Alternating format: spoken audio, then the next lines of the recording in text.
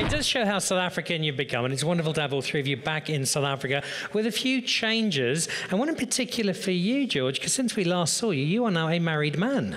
I am.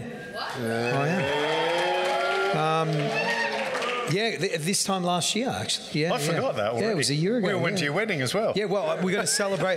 well, well, well, boys, it's us three this Sunday for our wedding anniversary. Thank you, but sweetheart. um, yeah, I- yeah, yeah. I'm very, very lucky. Um, uh, yeah, and, and we've got two beautiful kids. Did you just drift off there for a Tell minute? how anyway. wonderful is Natalie that we all went to his wedding in Greece and it was a, a spectacular wedding.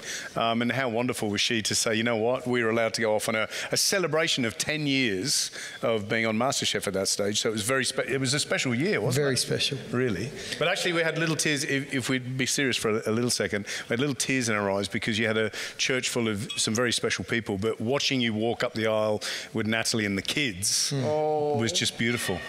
Stop it. Oh, hang on. Stop it. Oh, hang on. And was it the full tradition, the crowns and the Yeah, yeah, walking yeah, round yeah, and yeah. 7,000 people for a quiet, intimate celebration? It was um, it was it was three awesome days, and we, we, we had a lot of fun. And, and what what makes it is being able to celebrate it with people that I absolutely love and adore. And um, you know, there was uh, there was.